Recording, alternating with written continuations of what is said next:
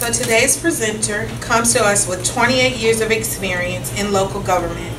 He currently serves as the General Services Director for the City of Germantown.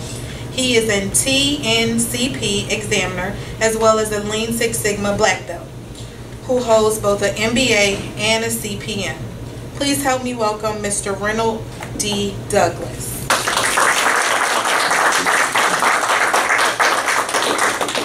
Good evening, good afternoon. Thank y'all so much for taking time out of your busy schedules. First off, give yourselves a hand clap. Y'all put in a lot of work today, so folks are tired, so I'll try not to bore you too long. Uh, when I was sitting there listening to the intro, I was wondering who she was talking about, but it happened to be me. You probably wonder how does a government use the tools of Lean Six Sigma? Well, thanks to our good friend, Dr. Fisher, come to the city of Germantown roughly seven, eight years ago and told us that we needed to look at the way we do things differently, to maximize dollars that we have because we try to keep taxes low. We really do. So if we are able to look at ways to maximize the dollars, we keep taxes low, we keep our customers happy, right? That sound reasonable? So, we identified through Dr. Fisher who our customers are. We actually have a couple of customer groups, that is the residents in Germantown, visitors that come through for whatever reason, and the business community. These are our customers. So, in order for us to be able to provide the level of service that's uh, expected, we needed a little help. So, Dr. Fisher helped us out. I actually went through uh, the Methodist uh, group to get certified for Lean Six Sigma. And I don't know if any of you, how many people in here are Sigma trained or exposed? One, two, three, four, five. So y'all know that it is, it's actually pretty neat. It's more to it than just data. I mean, there's a lot of tools there. So one of the projects we did in the beginning to, I guess, get our feet wet and try to do some internal house cleaning, pun intended, we have a central warehouse um, that supplies all of the goods and services that we use, whether it's um, cleaning supplies, uh, water meters, piping, um, fire hydrants, different things that we use throughout the city to provide the service. Well, I've probably seen this on the screen here. When we started this in our fiscal year 11, that's what, eight years ago, that accuracy rate, if y'all can see it, 36%. In the business world, how many of you would still be employed if you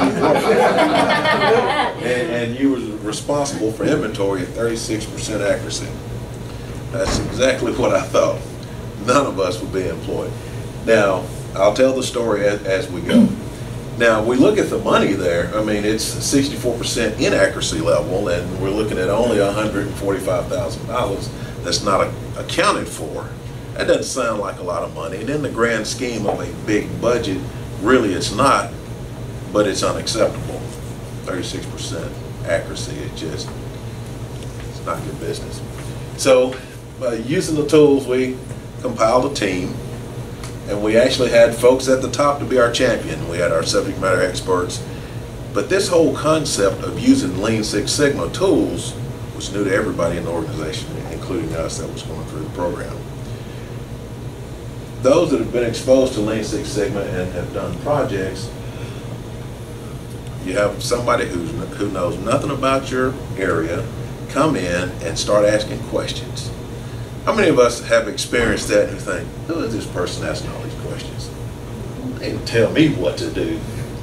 Well, it's not a matter of telling folks what to do. It's, a, it's about trying to find the, out, the, the desired outcome. Of course, in order to do that, you have to come up with a good problem statement.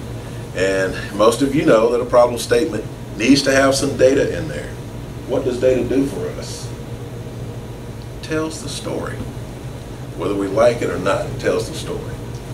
So as we went through the process of getting our problem statement together, and it took a while to get a problem statement nailed down. It did. It took longer than you would think. It's not a matter of sitting down and 30 minutes later you have a problem statement, because when you're dealing with data, you got to be able to find the data, right? The system that we had in place, um, we have a, a financial system, and it's grown over the years. Now it's called Superion, but it was NaviLine, it was HTE, and it's an integrated system. It does the financials, it does warehousing for inventory, it does work orders. It's this robust software that uh, it can be complicated to use. As we were doing our drill downs on this, we, we followed the steps. We came up with a project plan. And we know that there's an acronym for, uh, that you use in Lean Six Sigma. It's called DMAIC. Everybody, I think y'all may know what that is. Define, measure, analyze, improve, control. Sounds good, right? But you need data in order to use DMAIC. And I'll get to that in just a little bit. So we had to come up with, we actually had to build this because none of this was in place. Can y'all see okay? Y'all see okay? Yes, sir. What kind of stuff was in that warehouse? Paper products for cleaning, um, what, Paper towels? paper towels, cleaning supplies, uh, piping, pipe fitting, um, Any road construction stuff or? um, For building maintenance?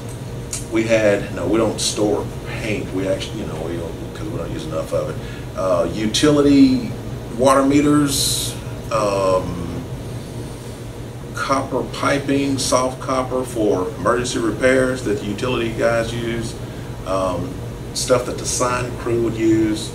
I mean, we're talking stuff, automotive for fleet, you know, all the parts and, um, brake drums, rotors, pads, belts, you name it, light bulbs, ballast, anything you can think of that it would take to make city operation happen, we had it. At least we thought we did. But as, as we did drill down, I'll, show- I'll show you. Um, so we, we, we come up with the project plan, and in that, we found a lot of things were missing.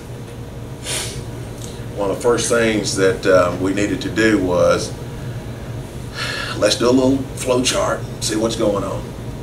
Well, the flow chart that you see here actually would be the ideal flow chart. Whereas the customer comes in, make the request, they go pull it, enter it into the computer, give it to the customer, customer does their paperwork, they leave, at the end of the day, it's reconciled back, okay? Yes, sir. Customer is a service person for the.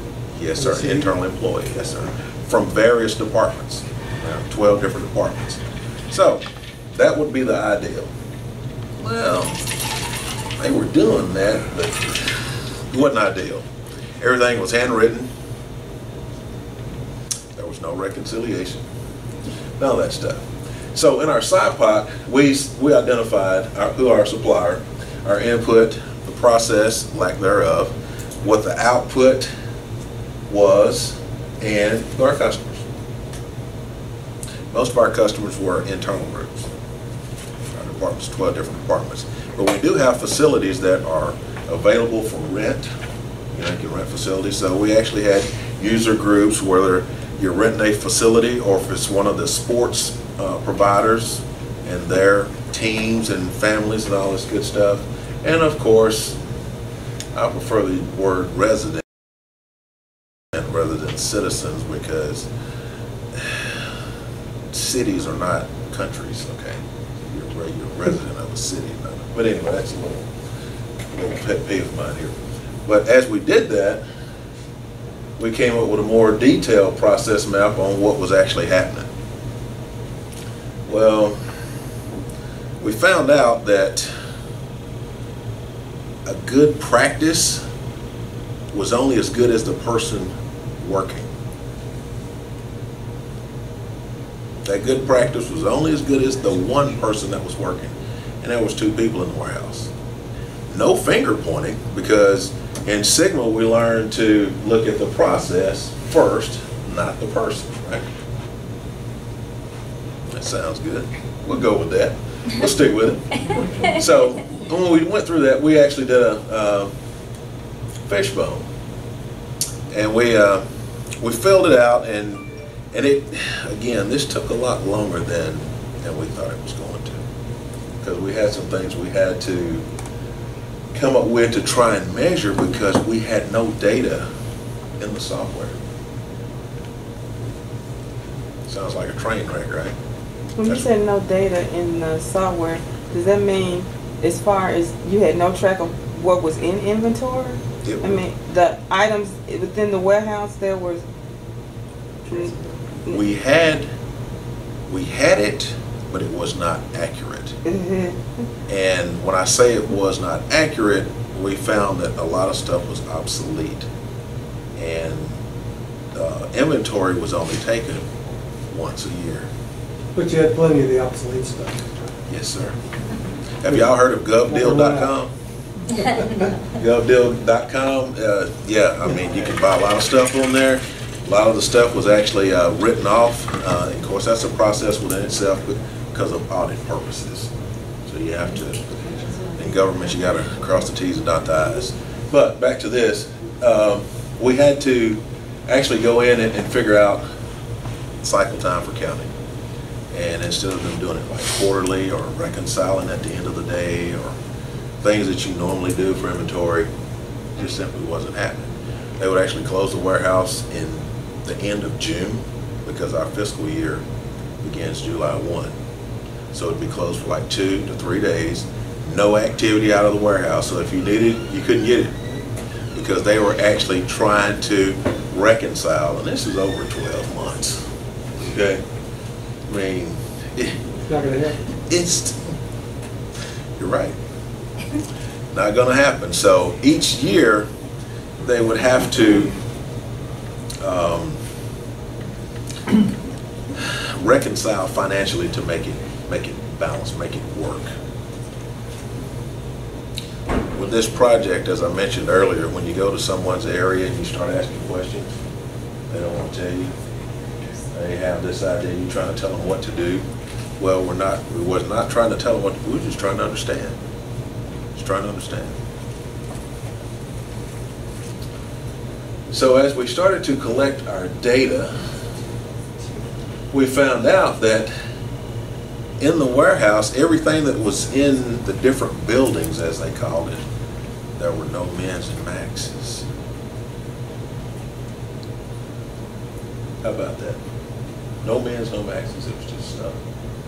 Yeah, I need this many, okay, we'll get this many, and you use them down, well, I need such and such, well, we're out. Just practices, no processes.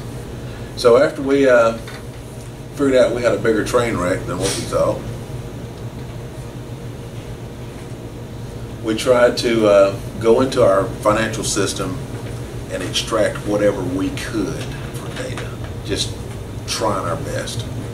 Well, y'all know the story. Nothing in, nothing out, right? That was our story. Did you ever try analyzing the actual paper form? We did.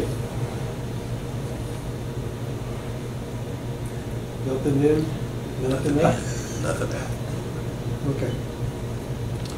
even with the work order system, as folks would come in and get different things that they would need, depending on department or job function, and we would get broke down, but there was no quantities, there was no pricing attached to, I mean, yeah, this was, So you, Kinda serious. so it really could be going to a lot of people's houses and stuff. right? it could be, it could, it could have been, but we never looked at it that way because the services were being provided.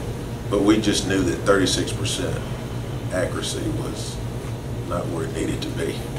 Just simply not where it is. Well, the real impact is the the deterioration of service throughout the whole community. Actually, the service level, as far as we know, did not drop. We just did not have accurate inventory. We never thought of folks taking stuff home. We with that. You- just couldn't, you couldn't go into the system and find it like y'all are familiar with warehousing and inventory. So we, uh, we ran different tests And, um, there was nothing there. We actually called, um, our, um, Monty for some help, try to figure this thing out because we're trying to use DMAIC. Well, we didn't have data, we didn't have processes. So we wound up using DMADV. We actually came up with processes and actually built our warehouse system so that it- everything could be accounted for. When we did our process map, y'all, y'all see all the blowups here. As I mentioned earlier, Men's and Max were not there. Uh, PO numbers as they would order stuff, that was, with the financial system, whenever you order something and you get it in, you have to reconcile in the financial system that the inventory's been received. Then when it goes out, it has to be accounted for and then back into the uh, inventory side, it has to be reconciled. So as you can see, everything was just blew, you know, it's blown up. There was no, there was nothing there. Kind of made us wonder how other folks were doing it. So, So with you wondering how other people did it, did you do any benchmarking? we tried benchmarking. We tried that. We actually went to Grainger. They saying, you know, we figure they're best in class at it. And um, we learned a lot from Grainger. As a matter of fact, when we told them what we were doing, Grainger said, we can run your warehouse. Wait a minute, that's not what we were coming here for. We're trying to make things right in- internally and, and uh, keep everything in-house if we can without outsourcing. Um, So, yeah, we did do that. We- We did that. Did you benchmark with any other municipalities? We made a couple phone calls. Can I leave it there?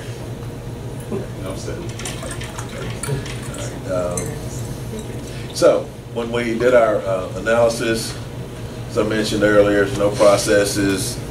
Um, Folks are always signing for something, but again, no data provided. None at all. There was no standardized workplace, no, no staging, you know, it hits, it comes from the truck, it hits the shelves. Some of it would get um, inventory numbers, some of it wouldn't. Just stuff, right?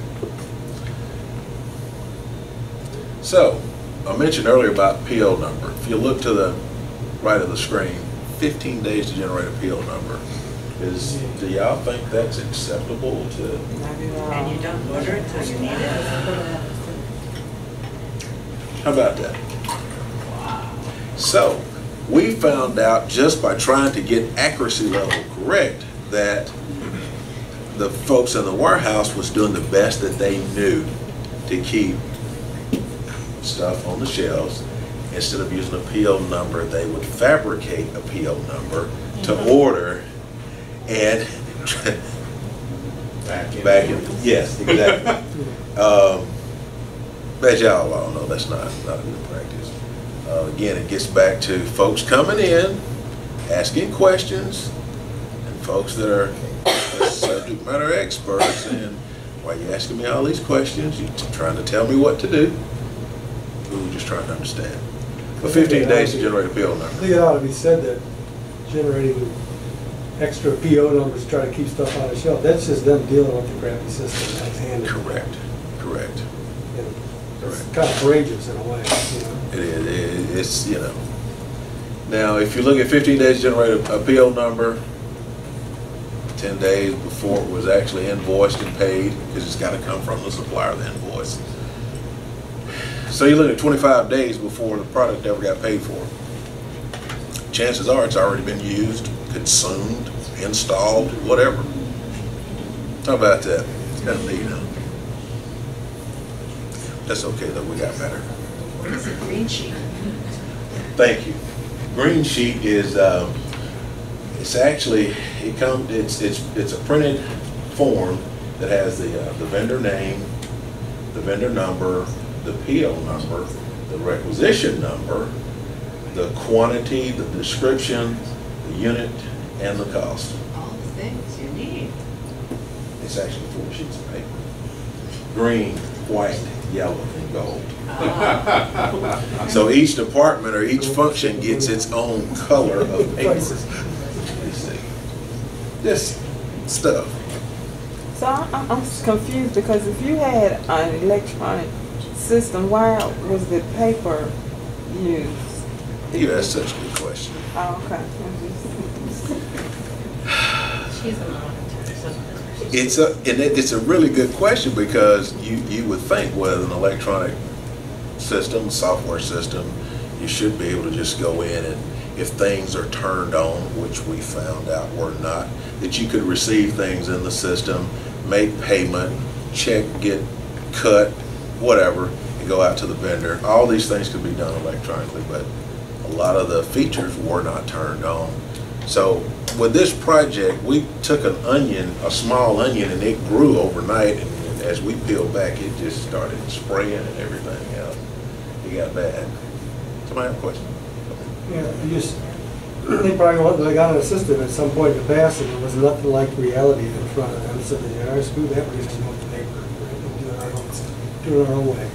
How many folks have heard, we've always done it this way? Oh, that's ours. Well, so-and-so, they know how to do it. Let's get them to do it. Well, they're off work today. We'll wait till they come back. Y'all heard any of this before? Yeah, we, we experienced a lot of that. And and we tried that, it didn't work.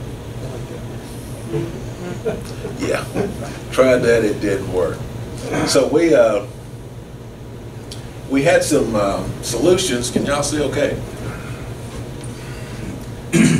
One of the obsolete, the obsolete items, uh, that I'll mention, things that were not being used anymore. We had stuff for vehicles, trucks that were from the seventies, okay? Torinos. Still in inventory. So. just Just saying. case. Well, you know, you never know. You never know. You never know what's gonna come through the shop, right? Um, and we had, we had to establish the mans and max. And that's when we got with the different departments and said, okay, if you know how many of, we'll just say widgets that you're using, we can order that, and then at that point, we can monitor and set mins and max for order. So we, we were able to do that.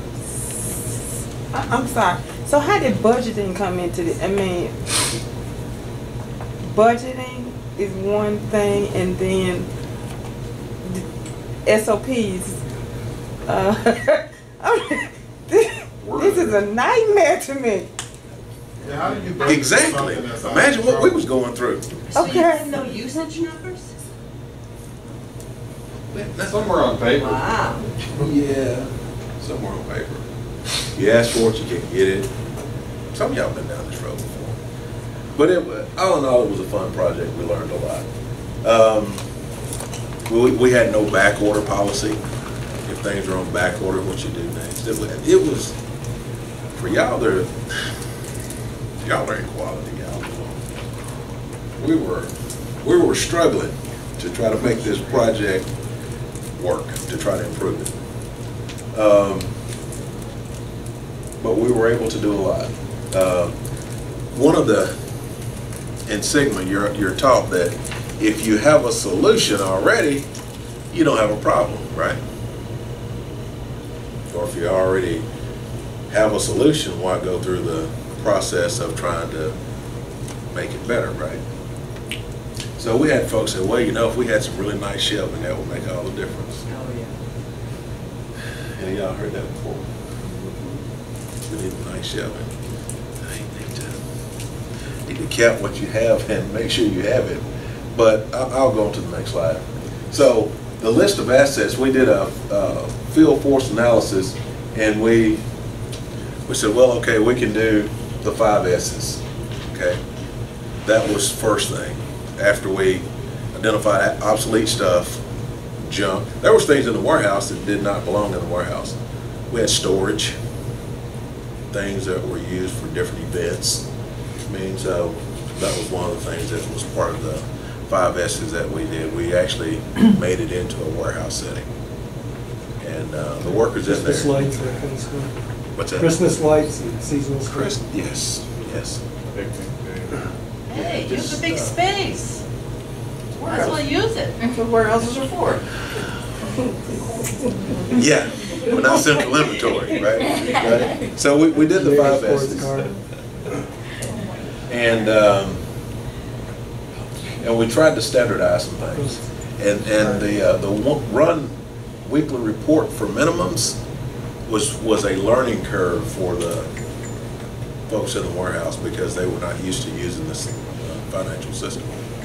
So that, that was a whole nother avenue to, to go down. Establish uh, standard order quantities too. Multiples. We did. So it, um, this project, like I said earlier, was kind of like an onion, It started peeling back. And it, it, it got tough enough that we actually started getting pushback from, um, from some folks that were in support of it in the beginning. Because it, thirty-six percent makes you look really bad, right? So you think, but if you embrace it and say, okay, let's make it better, then they could have looked at it a little different. So anyway, we caught a little flack about it. I'll put that lightly. This layout here is, is